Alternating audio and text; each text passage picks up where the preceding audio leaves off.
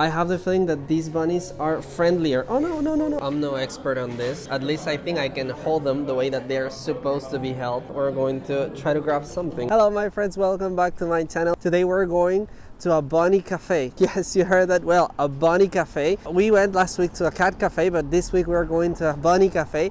It is the first one in Europe, actually. I know that they're in other countries, but not in Europe. And we're going to go to the first bunny cafe in Europe. It is located in the very center of Krakow. So we're heading there right now. You can see here that I found a trampoline there. I was not sure it was going to hold me, but I'm not that heavy. And let's go.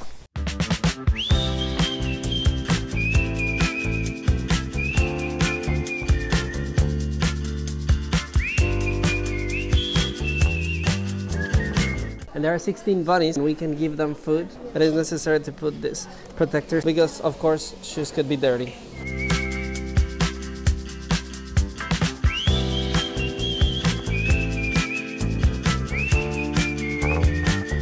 so I hope that the microphone is not so close to my mouth but I cannot speak too loud because that's one of the first rules of this place that you cannot make loud noises because that would scare the bunnies. Here we have the first one and as you can see it's big but it looks fluffy, white and honestly tired or sleepy. I'm not sure but we're going to try to feed him and we're going to see if he accepts the treat. I'm not going to bother him because he's sleeping but we're going to try to do it with this one right here. So this one is awake. We're going to try to feed him right now. Let's see if he accepts it. And he did. Now I'm going to try to pet him. and I can tell you that they're really fluffy. it is funny for me how comfortable he is. Let's try to give him a bit more. He clearly wants to. Hello, my little friend. I wonder if you have a name. And there you go.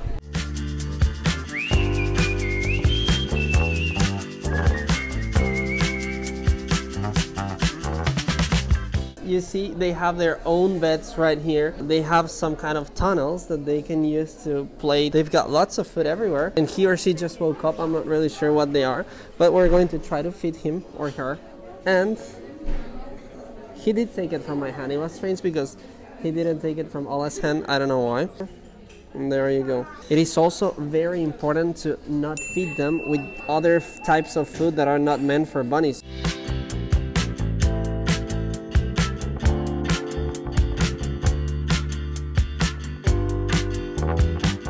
There is actually another space in which there are doors because I have the feeling that these bunnies are friendlier. Oh no, no, no, no, he's eating the cable. He was about to eat the cable. I'm so sorry, my friend. They are definitely friendlier than the other ones because they approach to you once you cross. Maybe because they like eating more. Look, look at them. I read online before coming here that they they can eat as much greens as they want. They cannot eat a lot of vegetables such as carrots because, I mean, of course they can, but in, in a limited amount. But yet they have just a specific amount to be fed every day because otherwise imagine they would be eating all day long and they would be super fat. Tell me, would you come to this cafe in Krakow?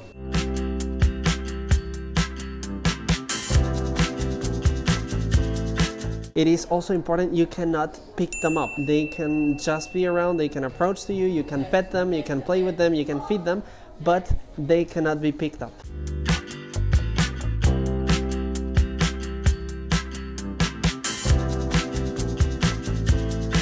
visit was nice, but we didn't drink or eat anything there. We're heading now to a Japanese restaurant because we're going to see if it's possible to eat some ramen. I'm almost sure that you need a reservation there, so we're going to see.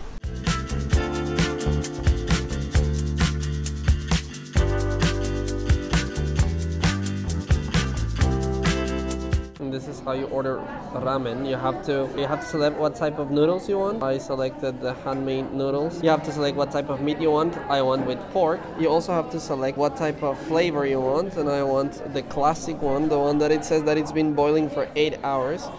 And finally, if you want it spicy or not, I rather not spicy, and later I can add if I want to. And the ramen has arrived. It looks fantastic. All right, and now it's time to try the ramen.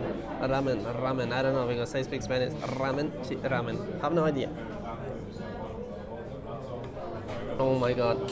amazing. I love it. I'm in love. I'm in love with food in general, eh, but this is just fantastic. you have got to go for a ramen today if you're watching this video. I'm no expert on this. At least I think I can hold them the way that they're supposed to be held, but we're going to try to grab something because let's see. Jose, can you? Well, it seems like I can and we're going for the second round. Dragon sushi, that's how it's called. We're going to go for it.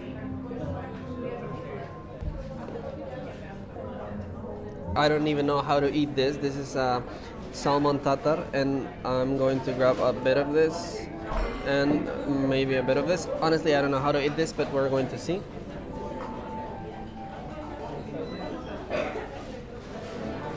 Delicious. The sushi was so good. The service was friendly. I strongly recommend Urara Sushi if you're around Krakow and you would like to try some tasty sushi. I just would recommend you to make a reservation. We were lucky we didn't have a reservation but we found place in the bar. And about the bunny cafe, I think it's an acceptable experience to feed the bunnies, to pet them, you can take pictures with them and everything. I cannot tell you anything about the food because we didn't try anything there as we were hungrier and then we decided to go to another place. And if you would like to have a different experience, if you would like to visit a different place in Krakow, I think the Bunny Cafe, the first one in Europe, it's a great place to go. So thank you very much for watching today's video. Make sure you hit the like button, you subscribe, and I'll see you on the next adventure.